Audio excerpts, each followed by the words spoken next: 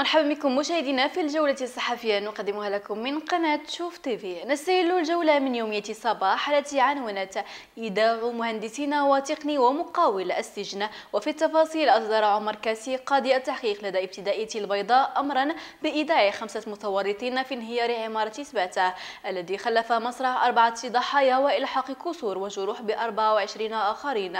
ومن ضمن التهم التي نسبت إلى الخمسة القتل والجرح غير العمديين والارتشاء.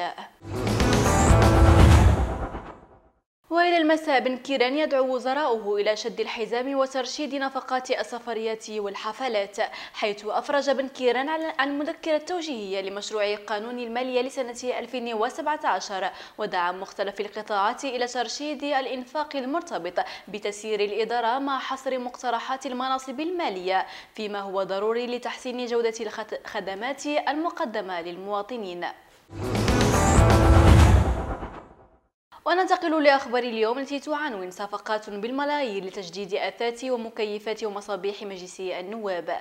تتواصل عملية تجديد بعض مرافق بناية مجلس النواب وتأتيتها وستجرى عملية فتح الأظرفة في شتنبر المقبل تهم صفقات بالملايير لتجهيز وتأهيل مكاتب المجلس بالمعدات وقطع الأثاث وتكييف والإنارة. ونختم بالأحداث المغربية. ستة قتلى في أول حادث سير على طريق السيارة الجديدة أسفي حيث شهدت طريق السيارة الرابطة بين أسفي والجديدة. وقوع حادث سير خطيرة عندما انقلبت سيارة رباعية الدفع. كان على متنها سبعة أشخاص من عائلة واحدة بعدما كان السائق منهمكا مع حزام السلامة ليجد نفسه رفقة الركاب الآخرين تحت السيارة.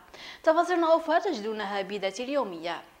الجولة الصحفية انتهت. شكرا لحسن المتابعة وإلى اللقاء.